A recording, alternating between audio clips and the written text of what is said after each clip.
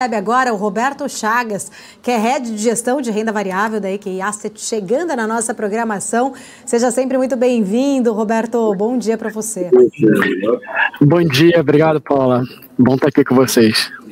Obrigada. Roberto, eu queria pegar até o gancho, a gente estava falando agora há pouco, né? Não sei se você estava até escutando, a gente estava falando um pouco sobre esses desafios de China especificamente, né? Ali é, em relação a, a, todo o fator ali é, de uma desaceleração chinesa, ou melhor, não ser uma recuperação chinesa como se esperava.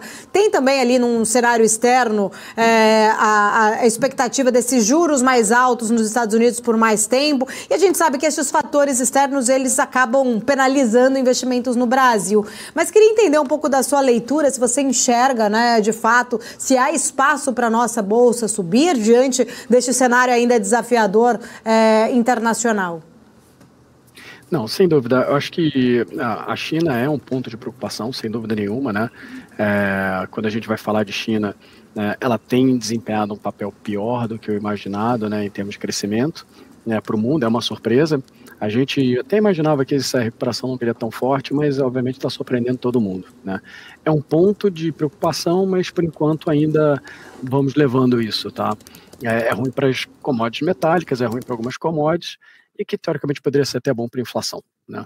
É, agora, nos Estados Unidos é, existe lá, né, a, a, gente viu que o ambiente externo, ele de alguma maneira ele atrapalhou bastante, né? O, enfim, ele atrapalhou bastante os mercados locais, né?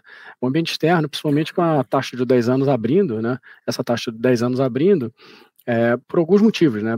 Japão, né? A taxa de 10 anos japonês começou a abrir, começou a pressionar os ativos de longos no mundo, né? E você também teve um, um, forte refinanciamento, né?